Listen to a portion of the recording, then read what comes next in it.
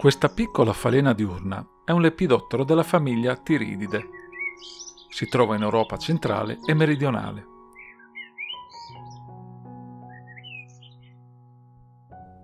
La Tiris fenestrella non è molto appariscente, cosa dovuta anche all'apertura alare, che è di solo 15-20 mm. Le ali sono nerastre, con piccole ma riconoscibili macchie arancione, ed una macchia rotonda e traslucida e biancastra nella zona mediana dell'ala anteriore.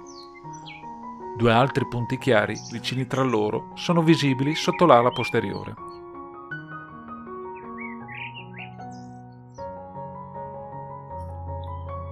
Queste falene hanno due generazioni all'anno e svernano come crisalide, le quali hanno un colore marrone rossastro.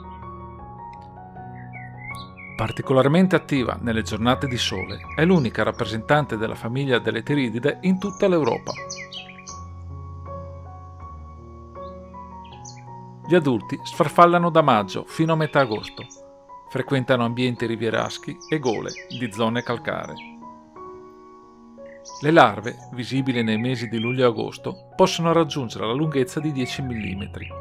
Sono di colore giallastro o verde oliva, con una pelle leggermente trasparente e numerosi punti neri di grandi dimensioni e hanno la testa marrone scuro. Essi si nutrono di Clematis vitalba, Sambucus nigra e Arctium lappa.